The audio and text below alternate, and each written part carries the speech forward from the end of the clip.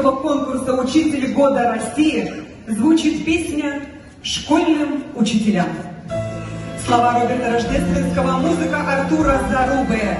За роялем абсолютный победитель Всероссийского конкурса «Учитель года России» 1992 года. Композитор, кандидат педагогических наук, кавалер почетного знака общественное признание и рыцарь гуманной педагогики Артур Заруба.